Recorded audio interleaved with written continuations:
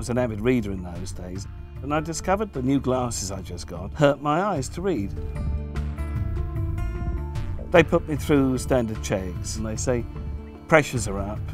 Do you have glaucoma in your family? And that's how it was discovered. Peter had his glaucoma diagnosed at really a very young age. In most people, glaucoma starts evolving after the age of 40, 50. The average age for diagnosis is late 60s or early 70s. My life revolves around eye drops. The drops specifically will take the eye pressures down. From the age 31 till now, 57, we've successfully kept my eyesight 100%. Most people, when they're first diagnosed, have what we would refer to as early glaucoma with quite mild loss of vision.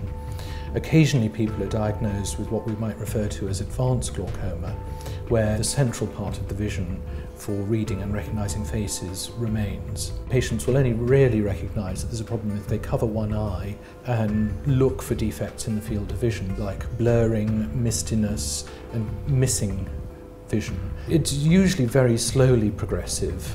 It's also painless. It's called the thief of sight is probably the best way I could put it. I'm chairman of the local cricket club. I'm a steward at Wimbledon. I have a flying licence as well. Now, all of these things wouldn't be for me if I hadn't taken the problem on. My dad was a bomber pilot in the Second War. I lost my father at the beginning of last year. And I wanted to do something that could take me closer to him while he was still alive. There aren't many pilots in the world with glaucoma. I tell most patients, provided they have been diagnosed at an early stage, that it is unusual to lose vision that will disrupt their everyday life. For the most part, they carry on a normal life. International Glaucoma Association is a, a charity set up specifically to help people in different problems that are associated with having glaucoma. Their efforts and hard work has improved enormously the standard of medication that I and everybody else take. Regular eye examinations are of crucial importance because most patients have no idea that they have glaucoma until they go for a routine examination by their optician. So we usually recommend people to go for an eye test at least every couple of years. As you get older, more frequent tests are more important.